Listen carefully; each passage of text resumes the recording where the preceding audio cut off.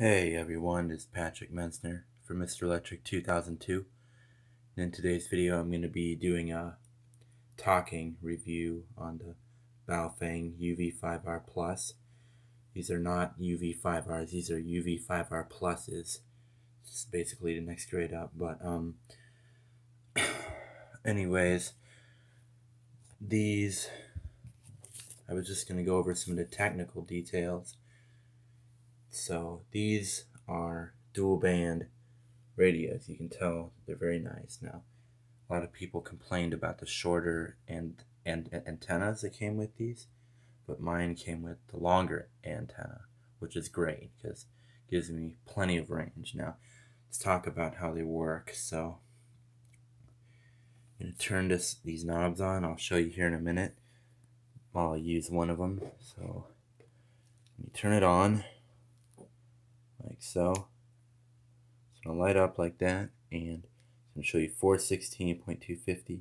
These are the frequencies I've been using right here. Come in the light a little bit so you can see. So this will give you plenty of range, at least a mile under varying conditions. These can be a little bit um, intolerant to terrain. I we live in Ard in Arden Hills and as the name suggests, there's a lot of hills, but it does pretty well even with hills out to about a half a mile or 800 meters. But um, there's been instances where I can get out to maybe, I don't know, a couple miles. So I'll explain to you how this is going to work. So, um, what you're going to do is to menu. There's a menu on here, and this is just going to bring you up all the options. There's all sorts of options that go with these things. So just too many options to get into. But yes, I have the Roger, the voice, everything turned off. I don't like any of that. Longer antenna is about six inches. If you look at it next to my hand, my hand is seven inches. So yeah, I'd say probably about six inches. It's not a very big radio. You might think it would be giant, but it's not really very big at all. It's my hand next to it. So let's talk about the range. So comes with the manual here.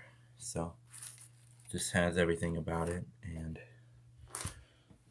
I don't know if you can see this, but these ones are chargers right here. Nice little charger does take quite a while to charge though, I will say that. But let's talk about the range. So if you go straight up the main road, which is right out there, um, it'll go all the way up to the main road, to the next main road, County E up there. Probably shouldn't tell you exactly where I live, but yeah, it can go about half a mile, and it's, it's weird because sometimes I'll have some somebody back here at the house talking to me on them, and they'll be able to hear me, but I won't be able to hear them. And it's kind of weird. It might just be because there's things in the way. But then if I go further west, there's a park. Tony Schmidt Park, and um, there is certain reception because there's a big lake right there, and as soon as it gets out of this neighborhood, can go across the lake with no problem. There's nothing to obstruct the signal. But I have been able to get maybe three miles off off of these with varying con con conditions. And since these are FM waves, cloud cover will not matter. It can go right through the clouds. Doesn't even matter if there's thick cloud cover. Unless it's pouring rain, you'll still get a significant uh, sufficient range. Now, these are amateur ham radios and means you technically do need a license to, oper to operate them, but it's not really big deal. I, I bought two of them because I wanted to use them as walkie-talkies, long-range walkie-talkies. But yeah, they'll definitely go, in case anybody thinks of wanting to buy one, they'll definitely go a, mile at least, probably um, sufficiently, consistently a half a mile these will go. Anything beyond a half a mile it probably will have problems if there's a lot of obs- obstructions, but these transmit with 4 watts. Actually, 1 watt on low power, 4 watts on high power. I have them set on high power for obvious reasons. I want to get range. The battery life is pretty good. Some people might tell you that these don't have the greatest battery life, but I, I think that they do have a pretty good battery life. I mean, I haven't had I've, I haven't had to charge these in uh, like two weeks, and I've been using them pretty much consistently. So, they're still at three bars of battery life now. These transmit on UHF, VHF, 136 to 174 megahertz for VHF, and 100 and no, uh, 400 to 480 megahertz UHF. So it's pretty powerful signals. So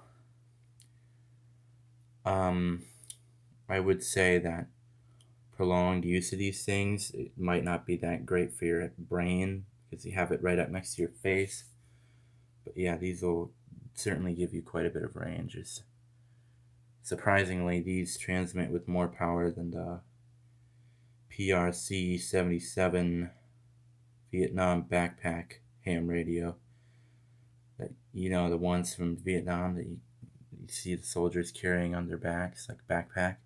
These transmit with more power than those. These are like a fraction of the size. So